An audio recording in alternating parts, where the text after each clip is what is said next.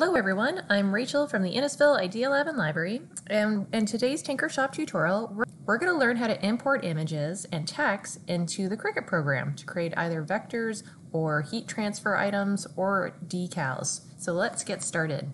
When you open up the Cricut design space, you'll click on New Project.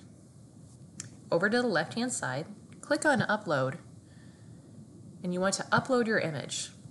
You can browse through your computer and choose your selected image.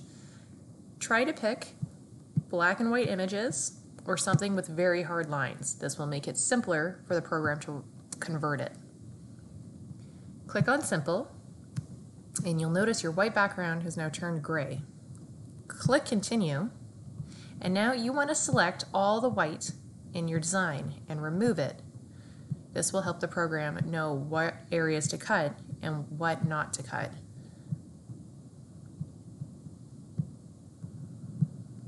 If you've accidentally removed your design, just go up to the right hand corner and click Undo.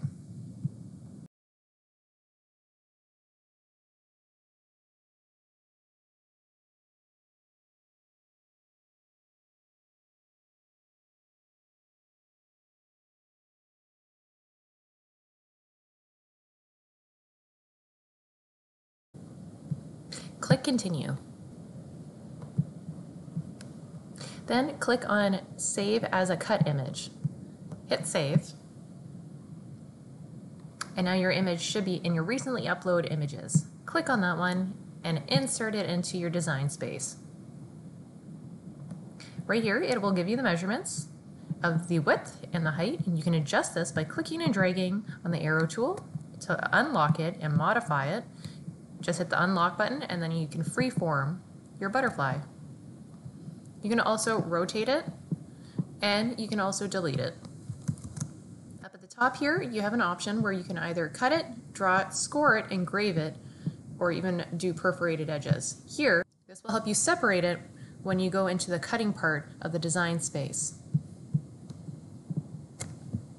Next, we're going to use a website called DaFont, and DaFont is a free website that allows you to use different kinds of text and you actually can preview and see your text.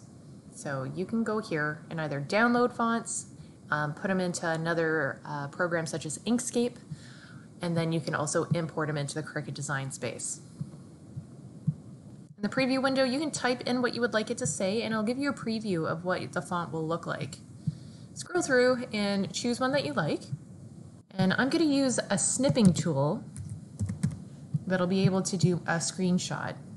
So I'm just going to click on New, and I'm going to draw a box around the section that I would like to copy. I'm going to go to File, Save As, and then I'm going to go back to my Cricut design space. So again, I'm going to go to Upload, upload my image, click Browse, and then I'm going to scroll through and find my screen capture that we just did.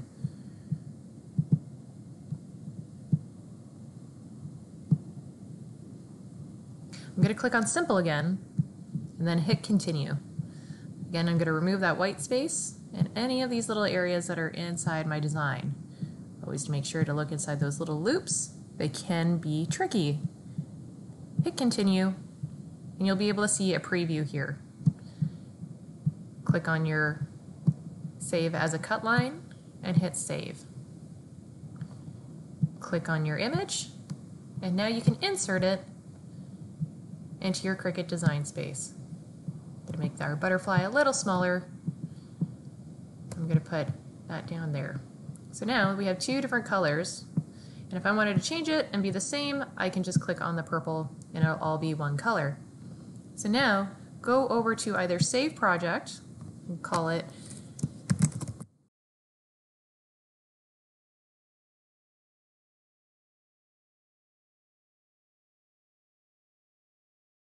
Okay, so our item has now been saved and we can continue working on other designs. Or if we're hooked up to our Cricut, we can actually hit Make It. Here, you also have an option to adjust how your item gets cut out. You can click and drag on your item and move it around, or place it where you have enough material. When you have everything in place, just hit continue and it should connect to your Cricut. So you've learned how to import your own images into the Cricut design space and you've learned how to convert text and import it also into the Cricut design space. So get creative and share all of your designs with us. I'm Rachel from the Innisfil Idea Lab and Library, and thanks for joining me. Take care.